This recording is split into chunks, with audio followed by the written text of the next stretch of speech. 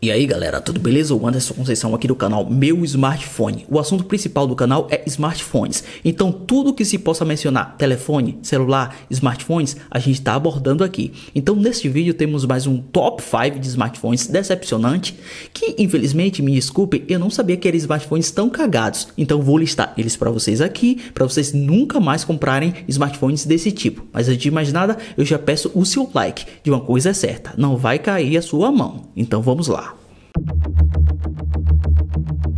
Motorola Moto G4 Plus.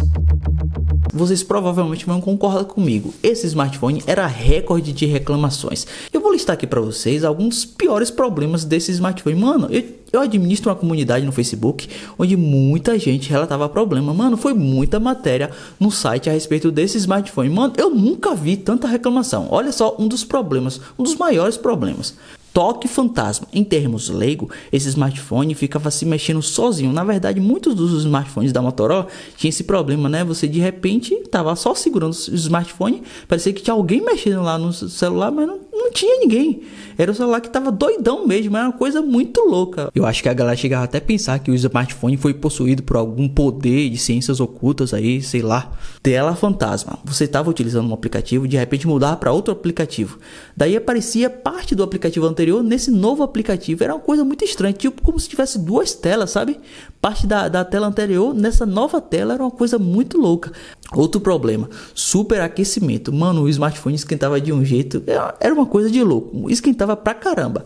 Vocês que já tiveram algum smartphone que esquentava pra caramba devem ter imaginado. E era coisa fora do normal, que o smartphone esquentava tanto que ele reiniciava sozinho.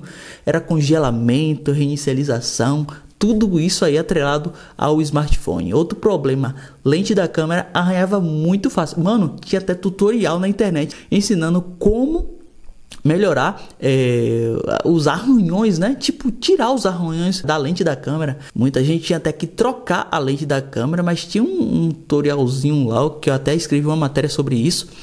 Mano, era muito problema nesse smartphone. Uma linha branca também aparecia de repente na tela. Tive, teve muitos casos disso. Para você ter ideia, até o botão do sensor de impressões digitais teve gente relatando que o botão caiu do nada, sabe? Mano, imagina aí. É, para tantos problemas acontecerem em um smartphone só, parece que o projeto foi feito às pressas.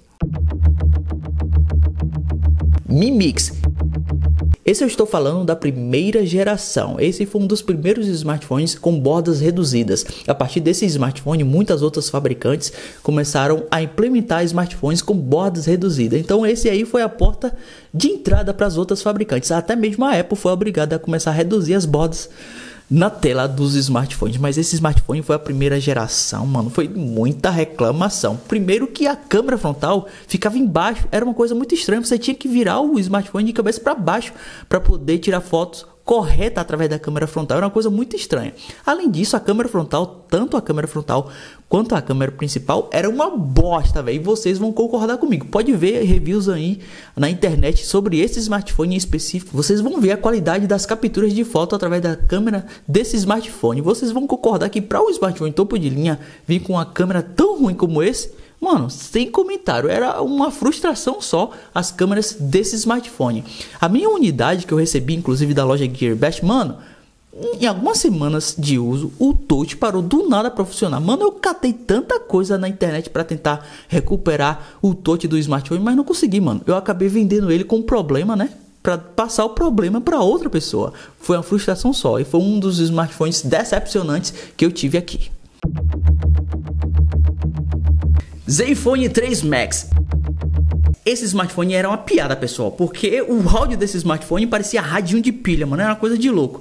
Mas o problema relacionado ao smartphone estava nas primeiras unidades, nos primeiros lotes, né? Mas de qualquer forma foi uma decepção para a maioria das pessoas. Então ele tinha um problema no microfone, tanto no microfone quanto no áudio.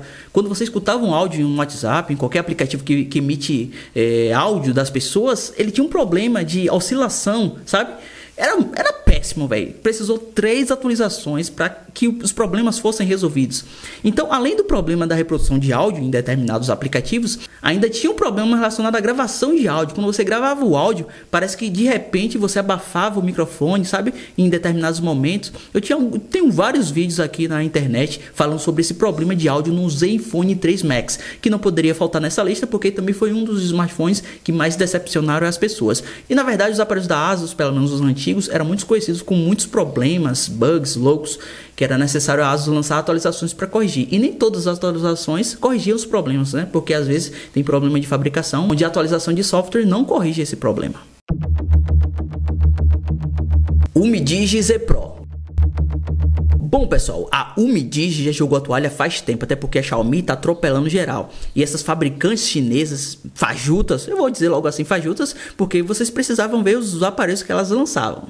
Sem nenhum carinho, sem nenhum cuidado, muitos smartphones que davam bugs loucos, interfaces sem nada, nada de intuitivo. Os aplicativos nativos de câmera, por exemplo, não era nada intuitivos também, não tinha as modificações, era tipo o aplicativo cru, sabe? Uma coisa bem decepcionante touch com sensibilidade muito ruim, até porque era smartphones barato, mas mesmo assim a gente não poderia deixar de dizer que era um smartphone decepcionante de qualquer forma. Ainda sem falar as configurações de câmera dupla, né? Muitas fabricantes é, chinesas, inclusive essa Umidigi, lançava smartphones com configuração de câmera dupla, só que a segunda câmera não servia para nada, era câmera fake. Todo mundo falava no YouTube, mas muitos mostravam esses pontos, né? Eu sempre enfatizei, pessoal, isso aqui é câmera fake, não serve para nada. Mano, era decepcionante as capturas que você fazia através desse smartphone. Era uma coisa bem básica, bem barata mesmo, para uma pessoa duro mesmo que não pode pagar muito no smartphone. O engraçado é que quando a galera via a foto e os vídeos desse smartphone na internet, ficava dizendo: Nossa, véio, esse smartphone parece um iPhone, véio, bem construído de alumínio, 4 GB de memória RAM, 32 GB de armazenamento. Tá, eu quero levar para casa, eu quero comprar, tá baratinho. Mas aí depois só vinha decepção, bateria inchada, um bocado de gente reclamando. Enfim, uma tremenda bosta na realidade. Xiaomi Mi 5C.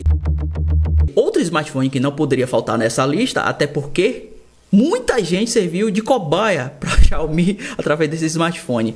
Isso porque foi um dos primeiros smartphones da Xiaomi onde ela implementou o seu processador, processador construído por ela mesmo. Só que ela viu que não deu muito certo e acabou matando esse smartphone, não lançou um sucessor, então muita gente serviu como cobaia, foi uma coisa que não deu certo. Esse aparelho apresentava muitos problemas, muitos bugs loucos, que muita gente foi obrigada, muita gente que comprou aqui no Brasil foi obrigada a instalar ROM, né? Desbloquear bootloader, fazer root, para instalar uma nova ROM para que todos os problemas fossem sanados. E de qualquer forma, foi um dos smartphones que mais decepcionaram as pessoas. Em embora ele tenha sido um smartphone muito bem construído, muito fininho, muito semelhante a um iPhone, um dos smartphones mais lindos que eu trouxe aqui para o canal.